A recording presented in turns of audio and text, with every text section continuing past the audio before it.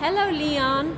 We just saw T Rex, the big model one, but Axel didn't like him very much, so we left quite quickly.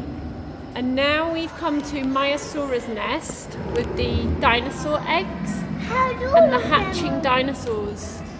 How do all of them are Yeah, they hatch one by one, don't they? The dinosaurs break out of the eggs. And Axel knows about Maiasaura from Diego, from the Diego video.